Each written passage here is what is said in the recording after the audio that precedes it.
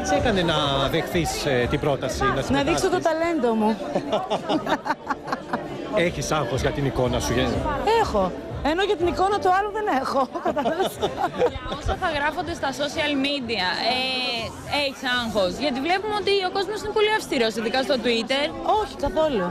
Εντάξει, να σου πω κάτι, το να έχουν να πούνε διάφορα ή οτιδήποτε κακό, θετικό, αρνητικό.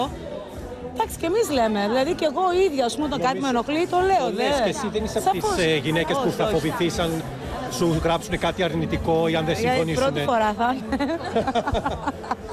δεν με ενδιαφέρει να τα έχω καλά με όλους ποτέ. Ε, δεν μπορώ, ναι, δεν είμαι έτσι. Θα πνίγομαι, πνίγομαι. Απλά όσο μεγαλώνω, ε, είμαι ακόμα πιο ελεύθερη, κατάλαβες; Και τόση ελευθερία φοβάμαι που θα πάει, δηλαδή. Σκέφτεσαι καμιά φορά, ξέρεις, μη γράψεις στα social media κάτι που ξέρεις, μπορεί να ξεσηκώσει αντιδράσεις; Όχι, ε, όμως στα social media γράφω πραγματικά ό,τι αισθάνομαι.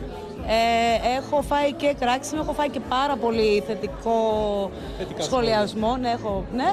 Ε, και πραγματικά και έτσι θα εξακολουθήσω να είμαι.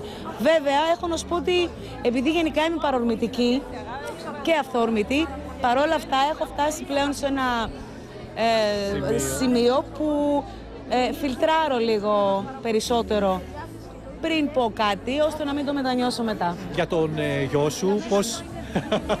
πώς είναι τώρα; 12. Τώρα κλείσει τα 13 όμως. Τι είπε; Όταν ε, του είπες ότι θα... Γελάει πάρα πολύ, είναι πάρα πολύ, του αρέσει πολύ και με τρολάρει. Πρώτος ο γιος μου, οπότε του είπα ότι έγινε αυτή η πρόταση, πώς σου φαίνεται.